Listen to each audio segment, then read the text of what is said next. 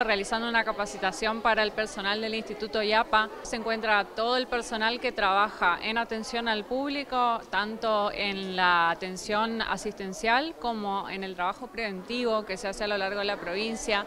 Este, hemos decidido iniciar con estas capacitaciones que son exclusivas para el personal, teniendo en cuenta que este, la situación que estamos atravesando, tanto social como económica, hace que la conflictiva este, que vivimos a nivel social aumente, que las situaciones de riesgo y vulneración se pongan en evidencia y creemos que el personal que trabaja en el Instituto IAPA tiene que estar preparado para poder acompañar a las personas que están en situación de consumo problemático y a sus familias y poder sostenerlas de la mejor manera posible. Así que nos seguimos capacitando, seguimos aprendiendo nuevas formas de abordar la temática, pues una temática que es muy dinámica y que va cambiando a lo largo del tiempo, este, aparecen nuevas situaciones, nuevos conflictos vinculados a esto, así que el personal se capacita constantemente para que se pueda brindar el mejor servicio posible, teniendo en cuenta que la temática es muy importante desde nuestro gobierno provincial, abordando todo lo que tiene que ver con la salud mental, con el consumo problemático y sobre todo con el sostén y el apoyo para todas las personas que atraviesan por esta situación.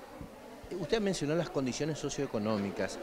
¿Influye esto a la hora de llevar adelante un tratamiento? ¿Influye esto también en el consumo, en el consumo en general? Sí, por supuesto, toda la situación que estamos viviendo a nivel nacional, que tiene que ver con la repercusión social este, y económica, repercute sobre la, dinámica social, ¿no? Hay eventos que se agudizan, hay situaciones sociales que se vuelven más marcadas. Lo que tiene nuestra provincia es que tiene una cobertura total, al menos para este tipo de problemática, el consumo problemático está totalmente cubierto por la provincia, ya sea su tratamiento, su asistencia, todo lo que es este, atención psicológica, atención médica, la medicación, todo está completamente cubierto en la provincia. Pero al ser una temática tan sensible, te vuelvo a repetir, necesitamos que el equipo esté 100% eh, formado y 100% actualizado para poder abordar la temática de la mejor manera en los días que nos toca transitar, que no son nada fáciles.